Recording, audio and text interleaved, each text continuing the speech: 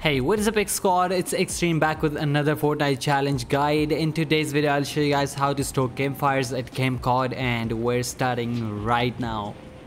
So for this challenge, you'll land at Camp Cod which is located right here on your map at the very bottom. So let's just head over there and in the meantime, you can subscribe to the channel and comment your epic username below. You will be instantly entered into the 20k subscribers special giveaway. So here you will find your first campfire which is located right at the very center of the camp cod. Uh, just get 30 wood at least and uh, light the campfire up then stoke it for 30 wood. Now let's just go ahead and show you guys the other two locations.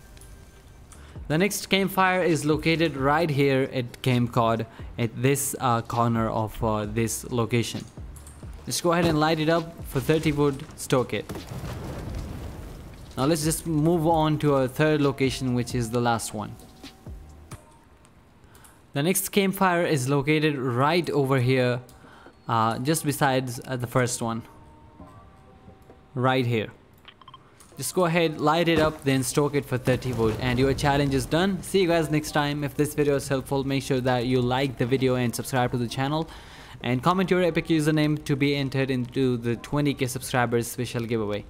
X guy out.